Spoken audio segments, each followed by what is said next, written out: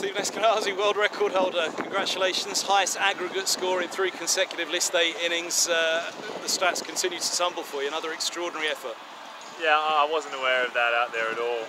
Um, it was quite funny. Jono, uh, Richard Johnson, the head coach in the bar yesterday, said something like, "I don't know if anyone's gone three in a row for Middlesex or something." And I sort of laughed it off, just thinking I'll try and get through my first ball first. Um, but really pleasing to sit here at the end of another fantastic game to bounce back from a tough defeat against Leicester in the first game to be sitting somewhere near top of the table now is a really proud feeling. It's extraordinary, really. I mean, you say defeat in that first game, Middlesex, that was their sixth highest List A score at the time, and, and defeated. It's been 350 there or thereabouts every single game so far. What, what an amazing run, obviously, with a huge rate of runs from yourself. Yeah, the game certainly moved on. Um, think across the board, Test cricket, one day cricket, domestically, four day cricket, um, the attitude towards these games are that it's going to be taking it on from ball one. And, and I sort of challenged the group at the start of the competition to go with that, to move with that, to try and you know not look at our records and statistics from bygone years and, and see if we can build on those for you know 10 or 15 percent more. And I think everyone's challenged themselves. Someone like a Sam Robson, with the consistency he has, in red ball cricket to come out and play the way he did today is um, a huge credit to his adaptability. It's an incredible team that Middlesex have at the moment. Obviously, five missing for the 100. Blake Cullen's injured at the moment. But even so, it's, it's a pretty strong side, isn't it? Do you feel like there's more to come from this side as well? Because obviously you're putting forward a, a, great number of runs. There's always somebody puts their hand up at the moment, it's you. But uh, the team as a whole, it feels like there's even more to come from it. Yeah, absolutely. I think if you look at guys like Joe Cracknell, Luke Holman and Max Holden, um, you're not going to keep quality players, quality young players like that quiet for too long. So, you know, it's tough for those guys coming in the situations they are, having to get on with it straight away on, on club wickets like this. So it's, it's fantastically sort of selfless cricket from them. But no doubt they're going to come good in these couple of games too. And then, as I said, you know, we're, we're looking to push boundaries personally um, and certainly looking to push boundaries collectively and try and push that 400 mark with that. And a word for Toby Greatwood as well, you know, talking about the youngsters with the ball as well. They did it today and he picked up the man He's just behind you doing an interview at the moment, Hameed, um, which was a crucial wicket at a crucial time. He obviously got the nod over Ethan today, perhaps a bit of rotation, but that was a huge wicket for him. Yeah, absolutely. The bounce back ability of the youngsters is, is incredible, and I think you know just as we're looking to push our boundaries with the bat, um, opposition sides are looking to do exactly the same. If you look the way Budden just started there, you know, whacking our overseas Test superstar everywhere too. You know, these sides are coming out for us as well, just as we are to them. So it's a, it's an immense challenge for these young bowlers in particular. Um, you have to learn quickly, learn on the job. But I'm really proud of the way they bounce back and, and to put three runs on the board with such a young bowling attack is going to fill the fill the group with confidence. What do you put your own form down to? Um, I mean, I think I jinxed you about four years back and said dark horse for England this season, but the last, you know, careers will go in roller coasters, won't they? There'll be peaks and troughs. The, the, last three years have just built and built and built, especially yeah, in white ball. Yeah, really proud of my consistency in this format. Um, I think it sort of suits my game, batting at the top of the order, and in particularly 50 over cricket. I'm not a big risk taker hitting the ball over the top, hitting along the ground.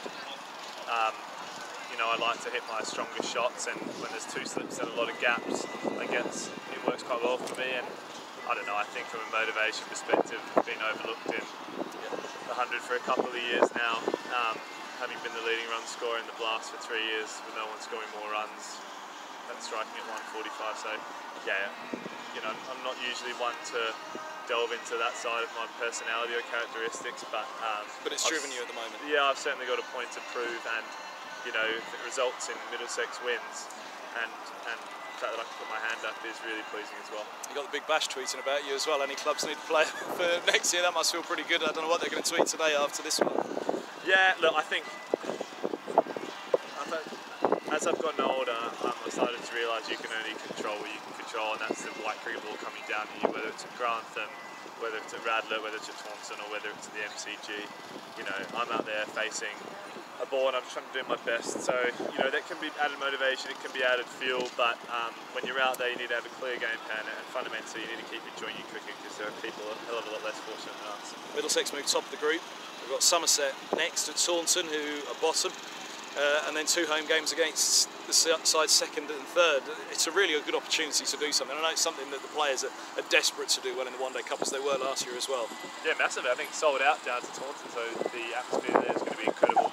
Um, yeah, we just take momentum in this competition. We saw, I guess, the flip side of it in the 2020s when we got on the wrong side of it, how difficult it was to claw it back. So we're not taking it for granted at all. We know any side on their day, particularly at home, can play fantastic cricket and turn us over. So we're going to have to, you know, rest and recover extremely well tomorrow.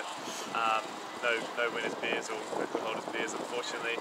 It's get on that bus, regroup, get our heads on, and we can go back from this road trip with another win. It sets us up beautifully. It's a massive week, isn't it? It could be a huge week for the season and sets up nicely as well going into September.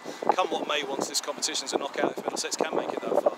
Absolutely. I think what the last couple of years has shown us in the Middlesex dressing room after successes of 2015 and 16 is that you know, playing well, um, doing well in competitions is extremely difficult. So we're not taking it for granted whatsoever. We know there's work to be done. Um, we do sit back and reflect and enjoy each other's um, success performances, but we know it's not a God-given right to go down to a side who's bottom when you're near the top and, and do well. So we've been on that side of it. We know how hungry every team in this competition is. So yeah, we've got to keep going. And a final thought on yourself, four from four. Kumar Sangakkara has done it. There's a, I think three or four on that list that have over the years. Sangakkara is the big name.